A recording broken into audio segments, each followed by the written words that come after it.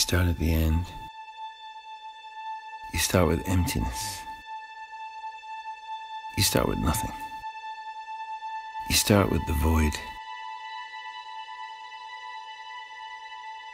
Maybe it was the Dalai Lama who said, any meditation on life has to start with one on death. Sounds a little bleak, but not to me. I lost my mother when I was 14. I learned so much from her vanishing. I wish it had never happened. I wished that I had been older. But as a young teenager, staring hard into that void, this is where a certain life force gathered pace in me, where a certain defiance began. To defy the odds, to defy people's expectation, to defy death itself, to rob it of its power over me or anyone else. Yeah, I was that grandiose even then. Somewhere along the way, I discovered joy as an act of defiance, and that defiance was the essence of romance.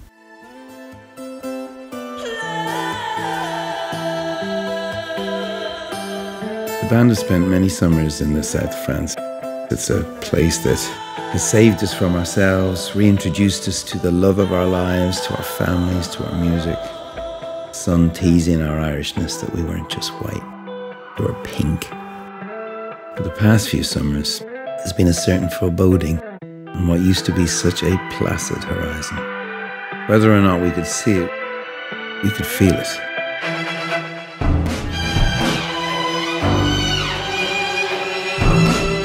The war in Syria was just across the water.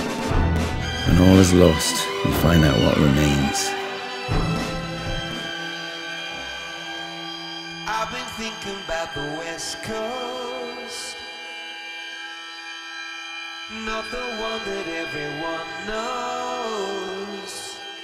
West coast of Syria, on the same Mediterranean Sea, where we watched nurses and teachers and people who looked a lot like us tying themselves to almost nothing, to a hope, a dream of another shore. Human wreckage washing up in Turkey or Italy or who knows where. So the album has two love songs with pungent dark clouds crouching over them, petrol skies, beautiful, but flammable.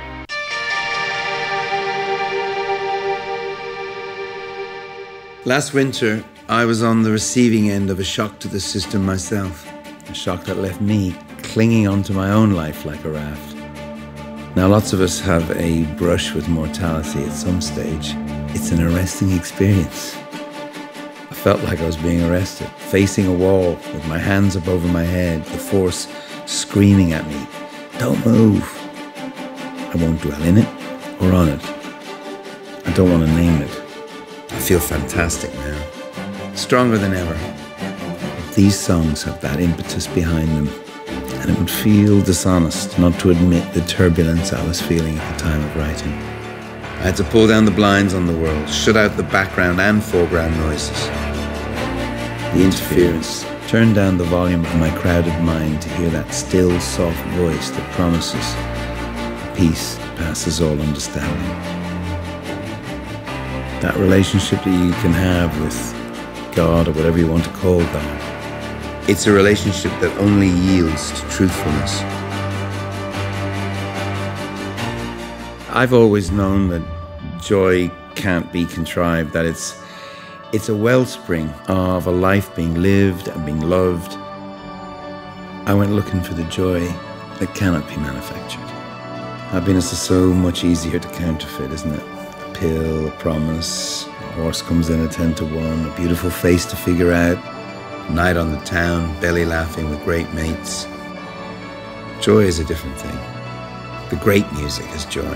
The Beatles, Mozart, Beethoven, Aretha, the Ramones. Joy even erupts out of rage, doesn't it? Anger is an energy, sang Johnny Lydon in the 80s, when U2 were still finding themselves. Before starting to write these songs of experience, I decided to take up the challenge. If you really want to get where the writing lives, write as if you're dead. It prioritizes what you might have to say if you think these may be your last utterances. I'd like people who listen to these songs to know that a lot of them I approached with a sense that I might not be around to hear them on the radio or in the stream of things. I'd thought a lot about not being around, so I, I made these songs love letters. Letters to people, to places. American Soul. That's a letter to America. Country still inventing and reinventing itself, that has been a muse for this band since we first toured in the 80s. But as we recorded these 12 songs, we felt the idea of America was being challenged, maybe even twisted in newly problematic ways. The rise of the alt right is not a surprise, it's happening all over the world. But to see it in the USA, to see the Ku Klux Klan marching the streets of Charlottesville without their silly costumes and their pointy hats, that was a new level of absurdity and danger. Why do they feel so emboldened?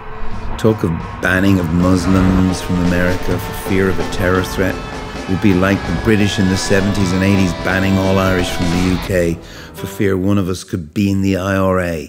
Of course we could. But you can't ban air because it carries a virus. The Showman is a love letter to anyone who falls for the bluster of a performer too much slash too little confidence.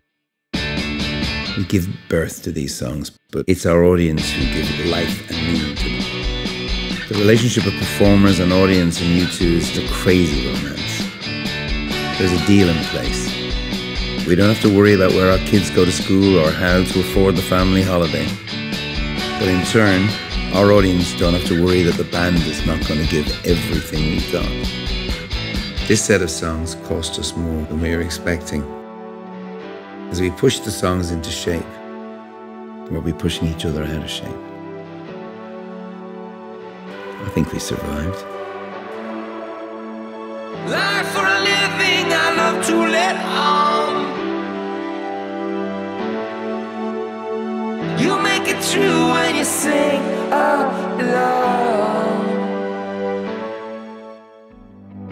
The question I couldn't get out of my head was could I write Ali a song, a love song, a song of exhortation without inducing the projectile vomit that is sentimentality?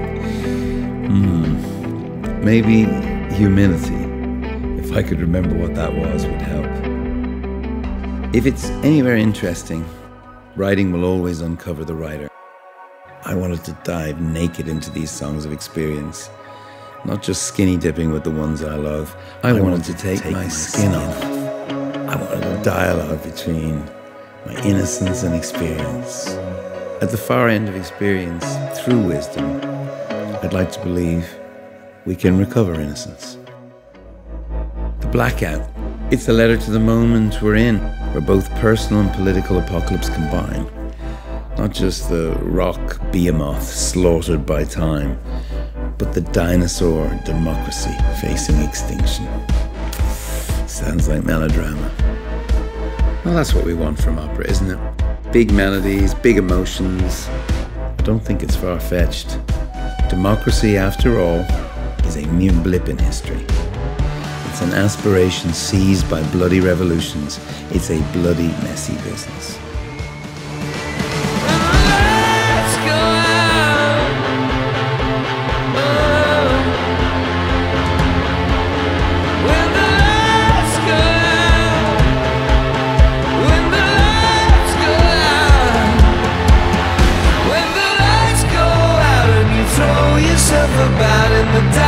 Where you learn to see.